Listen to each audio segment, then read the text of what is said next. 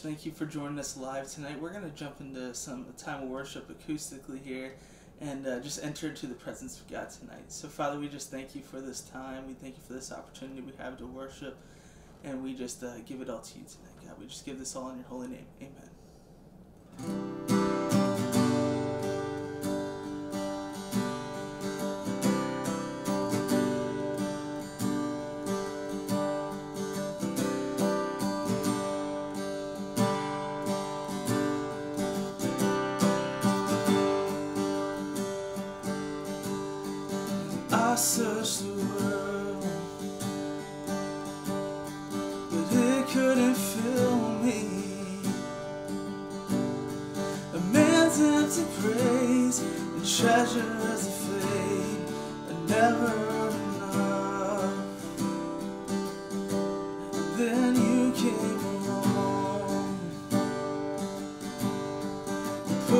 back together.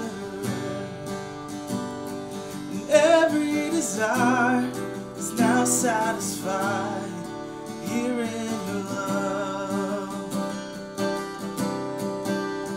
Oh, there's no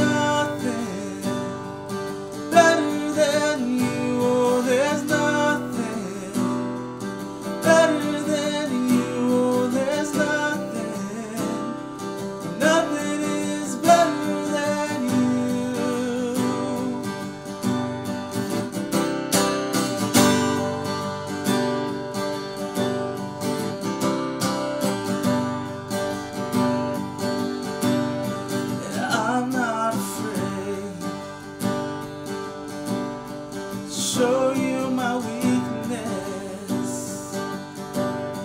my failures and flaws, Lord.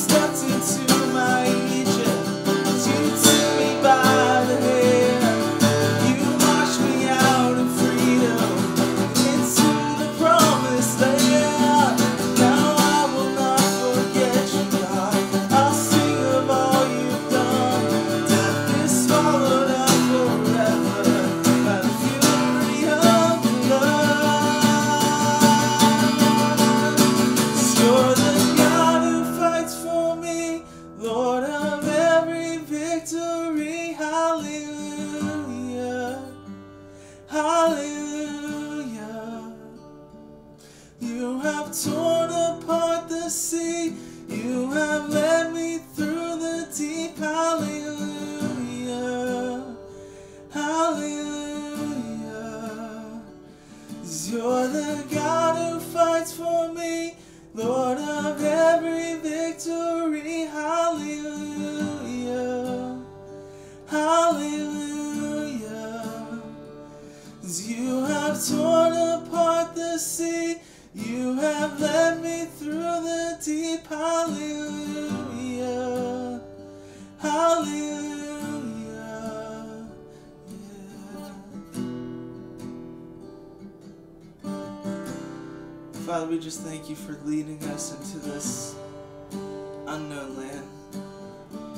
Whatever this may look like, God, this next season. Father, would you just allow us to be loyal to you, be faithful to your word and your instructions, God, and let us just be patient.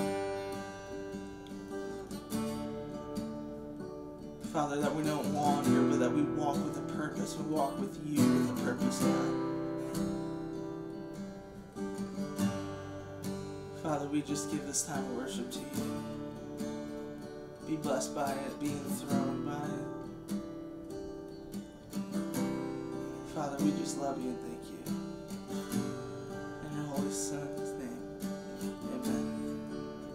Well, thank you for joining us and enjoy this time, this message that you're about to hear, this deep dive. Really soak in it.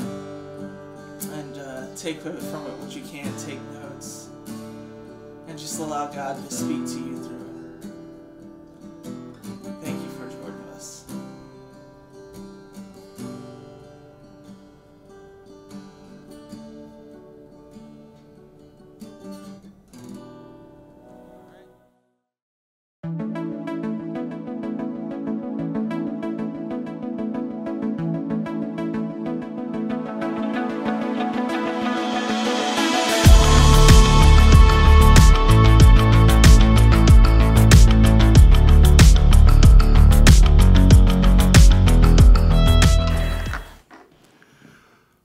turkey trotter or a distance runner? Let's pray together. Loving and kind God, thank you so much for this time. Please be with us and teach us everything you want us to have and transform us for eternity. In the name of the Father, and of the Son, and of the Holy Spirit. Amen. Several years ago, Nako and I decided that one of the things that we wanted to do on Thanksgiving morning was to run in our local turkey trot. A turkey trot, if you're not familiar with those, is a race, usually 5 to 10K, that people run on Thanksgiving Day. Some of us, and I'm included in that bunch, use it as an excuse to overindulge later on during the day. And you know how excuses are you convince yourself that something is okay when it's really, really not. And over the years, I've told myself, well, I can have that second piece of pie because after all, I ran the turkey trot this morning. Hebrews 12:1 reads like this: Therefore, since we are surrounded by such a huge cloud of witnesses to the life of faith, let us strip off every weight that slows us down, especially the sin that so easily trips us up and let us run with endurance the race God has set before us. Are you a distance runner or a turkey trotter? You see, a turkey trotter is only interested really in running that day, perhaps, and, and doing it once again to make an excuse for eating more later on that day. So, really, the exercise versus calories taken in, it's a wash. But a distance runner is a person who knows that he or she needs to be out there every week, putting in the miles, making sure that their distance homework is done. For if you decide not to do that for just a couple of weeks in a row, you will lose ground and have to remake it up when you get back to your training. When you're distance running, you want to make sure that you're not carrying anything extra with you that would make your time slower or make you more weary. Serious distance runners, professionals even, will always be very slim because they know over time that when they carry extra weight down the road, it just compounds itself exponentially on their knees, on their back, and it slows them down. Hebrews says here, let us set aside every weight, especially the sin that so easily trips us up. In other words, the concept here is not one of turkey trotting, running a little bit in the morning so that you can overindulge it in the evening, but rather of being a distance runner and doing a little bit of homework on the road every day and shaping your life in such a way that you can run the distance easier, freer, and unencumbered by the sin that so easily takes us down. If you take a look at your life right now, can you say to yourself that you're practicing the discipline of distance running, or is it possible that you've tried, you've tried to be a turkey trotter for a while? See, the problem with turkey trotting is if that's all you do, it only happens once a year. And so that three mile stretch that you run on Thanksgiving morning is certainly not going to make up for everything you eat in the evening. And it certainly won't make up for all that you're consuming later on throughout the year until the next Thanksgiving. After all, Christmas is right around the corner. So, what do we say to this then? We are called by the Lord our God to have the mindset of a distance runner, as it says in Hebrews 12:1, to lay aside every weight, especially the sin that so easily entangles us and takes us down. And so what that means is is that we have to have a mindset of we don't want to take anything with us in this race for Christ that doesn't belong. Turkey trotters occasionally crack open their Bibles, pray when they're in trouble, and make sure that they go to church at least twice a year. Distance runners are looking at their scriptures daily, are praying daily, even when they don't feel like it, and are taking opportunity to fellowship with other Christians, whether it's in person or through a phone call or through the medium of Zoom or Skype or FaceTime. Distance runners know that they can't run the race themselves, but just like a distance runner needs people at those stations with refreshments, they know that Christians need other Christians to run the race. But they also know that spiritual discipline is important, and that means that they purposely do their weigh in. They purposely say, What else can I get rid of so that I can run the endurance race with Jesus Christ even better and even faster and cover even more ground?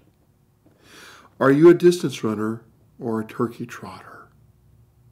You'll find that if you've been a turkey trotting Christian, it will not carry you through this time of the COVID pandemic and the general unrest we find right now in our world. I invite you to give yourself to distance running, to be prepared to daily search out the scriptures, pray to God, and surround yourself with Christian fellowship so that you in turn can be made into the best possible likeness of Jesus Christ that He wants you to be. Secondly, when we look at Hebrews chapter 12, we read verse 2. We do this, that's the running, we do this by keeping our eyes on Jesus, the champion who initiates and perfects our faith. Part two is this look as far as you can down the road instead of the weeds growing through the sidewalk. Look as far as you can down the road instead of the weeds growing through the sidewalk. It's easy for me and perhaps for you to take my eyes off of Jesus and to start looking at the weeds that are growing through the cracks in the sidewalk. In other words, it's so easy to be distracted by the cares and the burdens of this world and to forget that we are running to Jesus and we are not running for this world or from this world or even to this world, but we're running to Christ. What I mean by that is this when you're doing your run, you have to remember that if you just kind of look down at your feet, that eventually you'll be exhausted. Pardon me, you'll be exhausted. You won't be able to make it. Because what'll happen is, is that your posture will go. Your ability to breathe will not be as strong. And eventually you'll wear out and quit. Are you looking too much at those weeds growing through the cracks of the sidewalk instead of looking way down the road towards Jesus who is waiting for you? When I take my eyes off Jesus, I have found in my life, that's when things go badly. But when I keep my eyes on Christ, that's when things go well. Now, it doesn't mean that my external chance, uh, circumstances rather necessarily change. But what it does mean is that even through the storm, I can still keep my feet going forward if I've got Jesus in my eyes instead of the weeds that are growing through the cracks in the sidewalk. Stop looking at the weeds and look down the road look all the way down the road. And when you focus on Him, you will be given strength to get through even the most trying of times because it will be Jesus who pulls you home and you won't be doing it under your own power. Part 3 Hebrews 12 3 and 4 reads Think of all the hostility he endured from sinful people. Then you won't become weary and give up. After all, you have not yet given your lives in your struggle against sin. Part three is this turn that wine into a win. Shuffle the letters and add an S. Turn that whine into a win. Shuffle the letters and add an S. You notice that whine is spelled W H I N E and win is spelled W I N. So I want to make kind of a word scramble for us here to remember this point.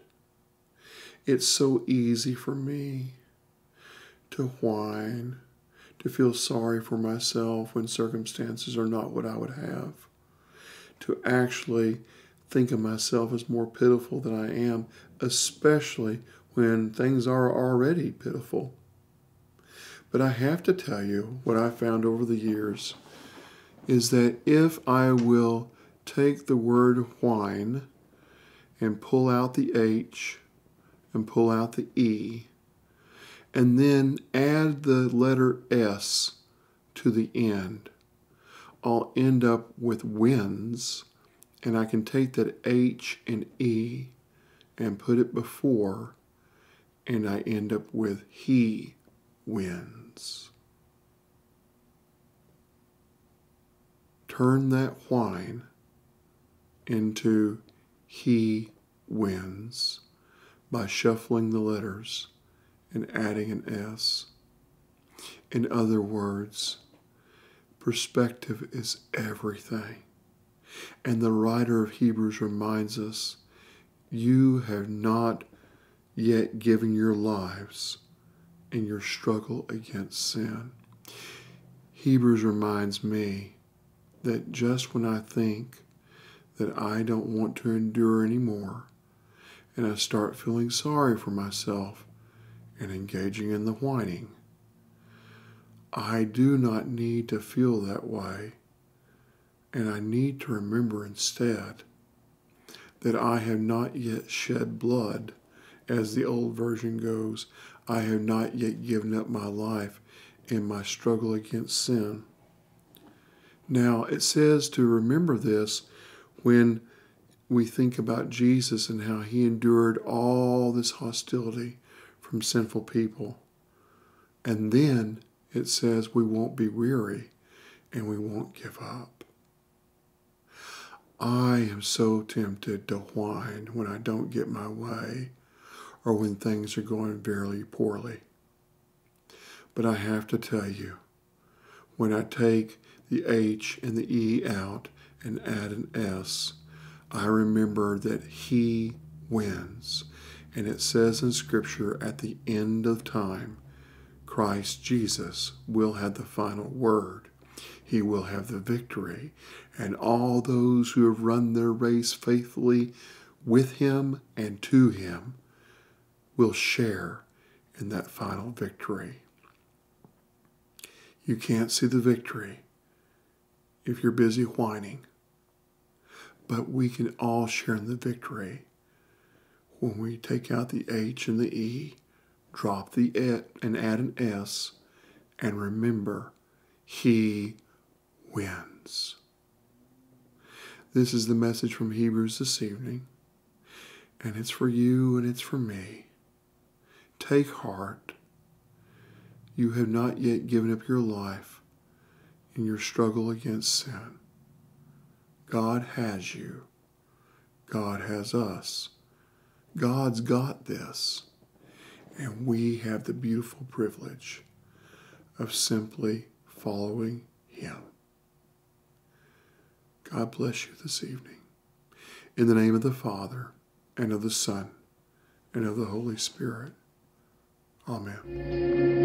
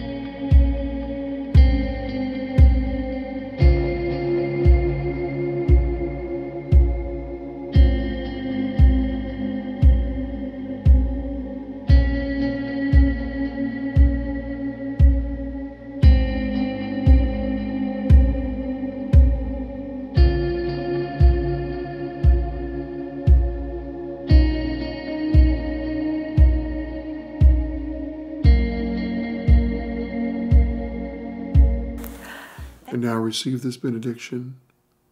Now may the Lord bless you and keep you. May the Lord make his face to shine upon you and to be gracious unto you.